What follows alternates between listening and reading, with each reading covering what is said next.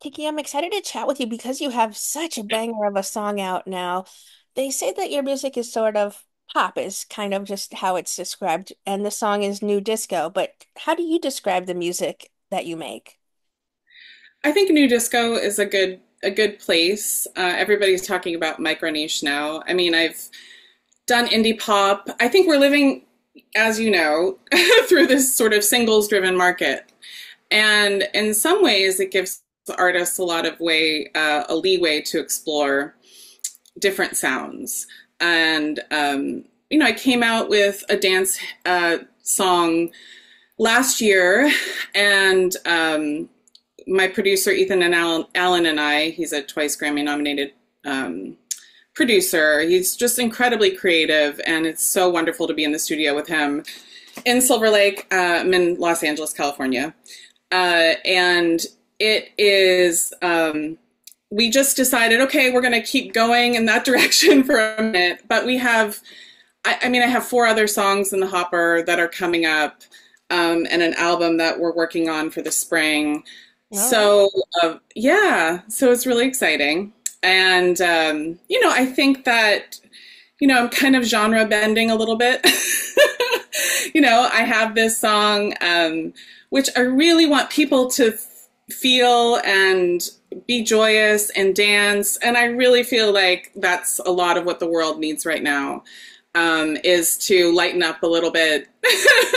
I mean, I know I certainly need to lighten up. So um, you know, it's like I, I think that's part of what I'm loving so much about this song at this moment is just um, it's making me happy.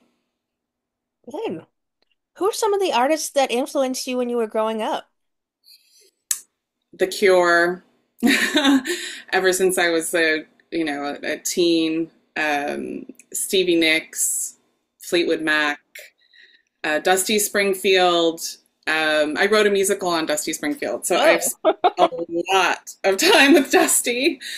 Um, and you know, I, I wasn't as big of a fan um, uh, until I started studying her. Uh, it ran off Broadway in New York City, ran in LA and in London. Oh, and it, you know, took up a lot. I co-produced it I raised the funds. I co-wrote it. I was working at University of Southern California in the screenwriting division, uh, working my ass off and um, coming home and writing monologues about Dusty Springfield and reading about Dusty Springfield and singing Dusty Springfield. So I definitely was immersed in her, and I became a better musician because of it. I have to say, just listening to if anybody's you know interested in in the Dusty sphere um, she's she's just an incredible influence. I mean, Bowie, of course. I mean, it's hard, you know, mm-hmm. hard not to say Bowie. and uh, the Beatles. And my mom was a huge Beatles fan. She was, you know, at um, she was at one of their last concerts, or you know, before they stopped touring um, you know, had the pins when I was growing, and my dad was a huge Elvis fan. So he and his um, brother had this like kind of duo where they would sing Elvis together, and he kind of, my dad kind of resembles Elvis. He has this like jet black hair and light green eyes, and he, you know, would wiggle, and you know, all these. My parents were always like, they were they were funny. They're funny people. Um, and uh, you know, just kind of singing. I grew up in you know a musical household, and my grandma and my mom and you know my grandma was an irish and she was constantly playing the piano and um, singing songs so we would have people over all the time. Lots of alcohol but too went along with that. But um, you know which isn't always great. But you know it, it is interesting. I grew up in a really musical and a creative family and i loved the radio. So when i was a kid you know, obviously in the I would listen to the radio constantly. So I'm sure all of that, you know, would seep into my consciousness as well. Um, you know, like the Go-Go's and of course and you know, things like uh, Duran Duran and you know, just um, I love I love the 80s. I love 80s music. Um, so a lot of that is important and I love John Lennon too, of course. Well, you have Win You Over Out now, and I mentioned what a bop it is. Where did the concept come from?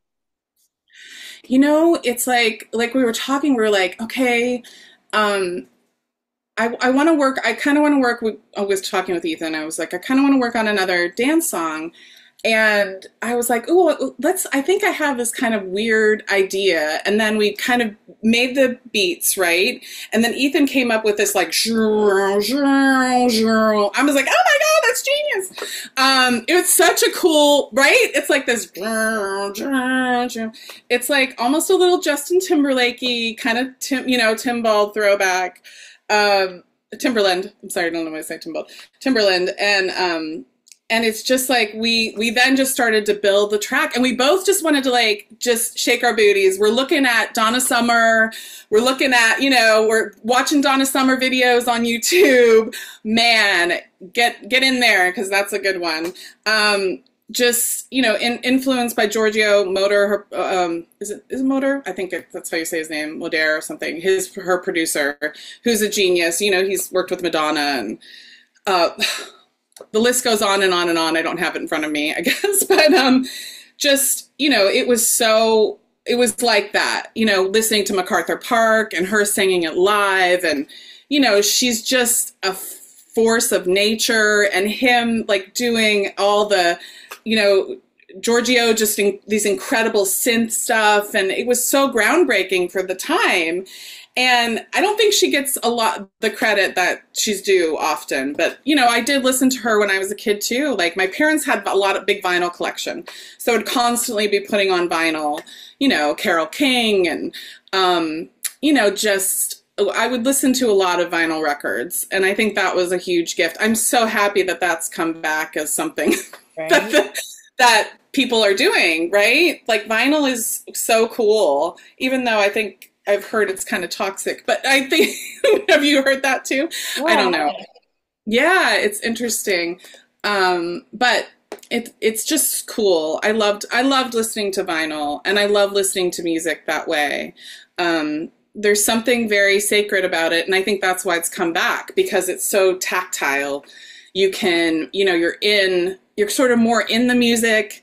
You got got to put it on the record player, and you kind of just have to hang out and you know have a glass of wine and relax, or smoke a joint or whatever. You know, just like whatever your pleasure, and you know, kind of chill. And and I think we all need to chill more. yeah. Well, Win You Over is a is after your song Pretty Boys. It's the next release. What kind of fan response have you been receiving to Win You Over? Well, it just came out yesterday. Yesterday, um, I've been receiving some good. I was had like a, a feature in EARMILK and yeah. Black News and um, uh, you know uh, several other blogs. A great Italian blog that um, is very discerning and they said it was weird, but in the best way, weird.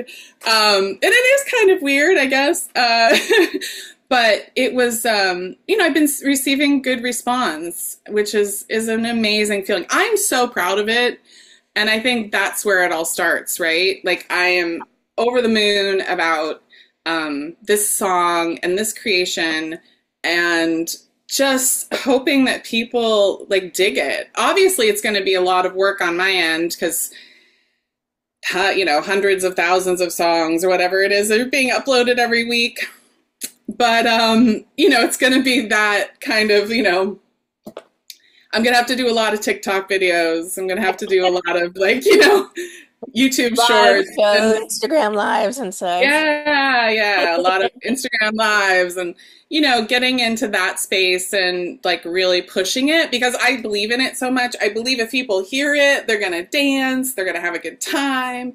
You know, like I think those are the things that um, are so important to me. Like, I just want people to be maybe just taken out of their problems for a moment.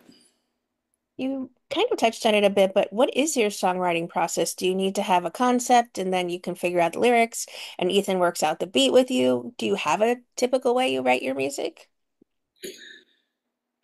Uh, there's several different ways. Um, sometimes, you know, you get really lucky and it just comes to you like a gift from the heavens and you just try to get it down as fast as you can and you just try to get it out i i know i write a lot singing because that's my main instrument is my voice. Um, I'm a guitar. I could play guitar. You know, I can play a little piano. But um, and I've studied music since I was a kid. Since I was, you know, I've done voice lessons since I was eight. I majored in musical, you know, theater. I um, played viola. I played the saxophone for five years. You know, I can read music and I I'm a musical person. Um, I'm just not a great guitar player and a great piano player. So it helps me. I mean, I'll put the thing like, or I'll put chords in there and I can sing to that.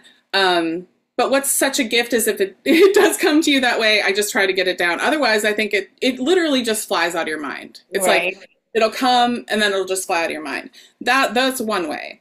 Um, the other way is a little harder, right? Where you're, you know, crafting the song and you know you're laying down the beats first, and then you're, you know, you're kind of your basic structure, and then you're putting a top lining it with a melody and then after the melody comes maybe you add a little bit more instrumentation and then after that then you get some lyric ideas and um, you know, and, and that that you know is a process and takes a little longer, uh, but also you know equally as fulfilling. Um, and then sometimes you just get snippets, you know, like I just get a chorus or I just get um, you know, like just a, a hook of some sort, and then it's trying to figure out, okay, is this hook worth exploring, right? So t- sometimes I'll have like ten ideas and then I'll I'll sit down and be like, is this worth going forward with it? Is this worth spending more time on, or just you know, I have hundreds of ideas, but it's just trying to figure out like what really is worth spending a lot of time and a lot of money on, right? That's that's kind of like the the catch, you know.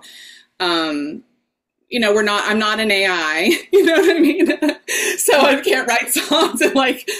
I mean, I can write songs pretty fast, but not like you know. I'm not like that is scary. Scary, scary. Have you tried any of those programs? No, oh thankfully. oh my goodness gracious. It's quite frightening. Um, and I just have to believe that the humans will win out somehow in the end. I mean, I think it's a good tool, but I think also people who've never which is, I guess, kind of cool, but who've never even studied music or done anything could just press a button and here's a song for you. Right. Um, you know, I think there's something to be said. I guess I'm old school, but for honing your craft.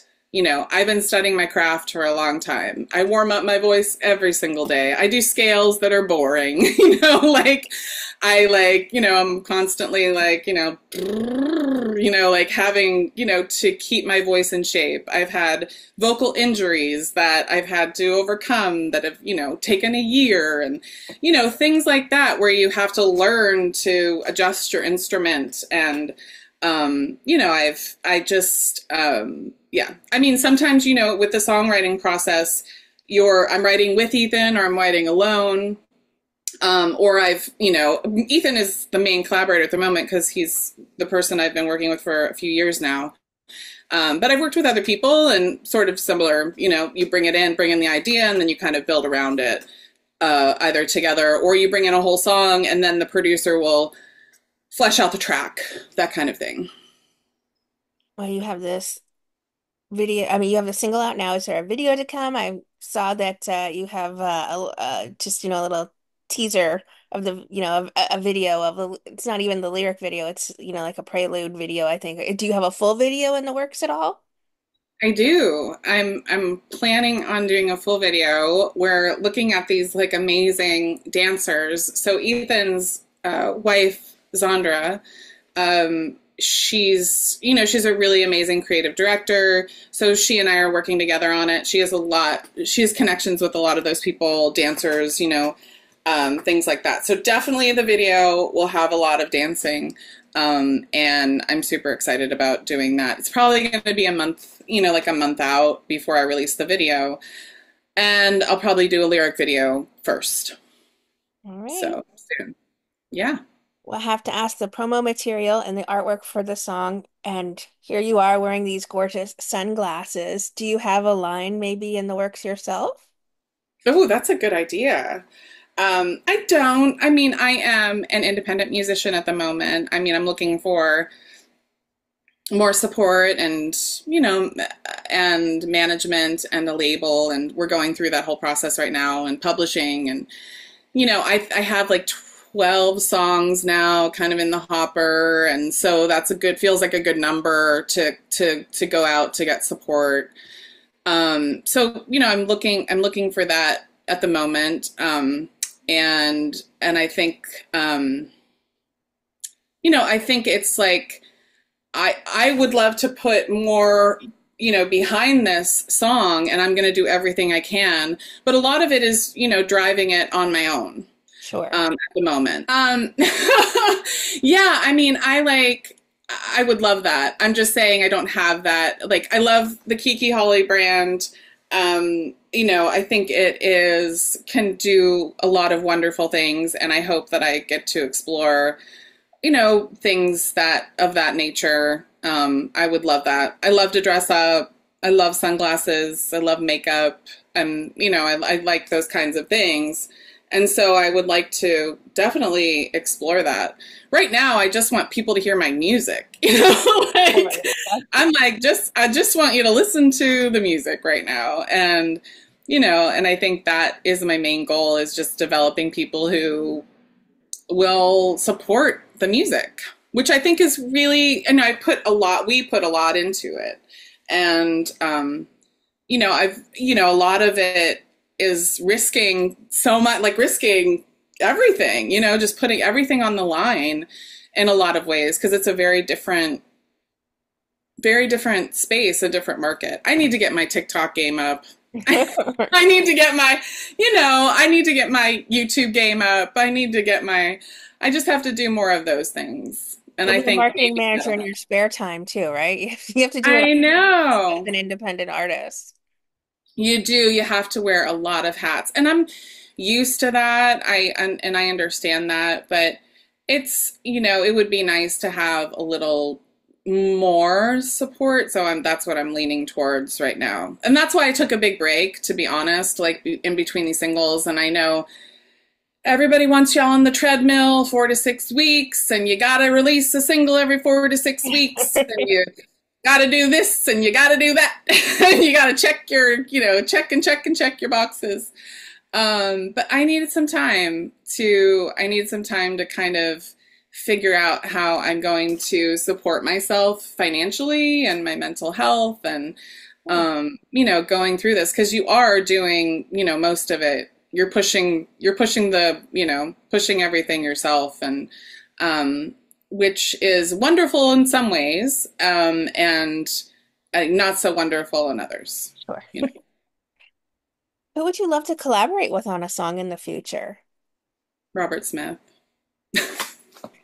we could get him to sing more often, that would be amazing. I haven't seen him perform live in ages. I mean, I don't think that's ever going to happen. But oh my God, I just saw him. He has been touring. Oh, so I just, oh yeah, I saw him at the Hollywood Bowl. Um, I saw him uh, twice at the Hollywood Bowl. I mean, he is girl. You have to go. you have to go to YouTube. I am telling you, he is just as brilliant as he's ever been. And I literally, um, I was talking with another person about this um, in a podcast, but you know, I didn't think I was going to be able to go to the concert, and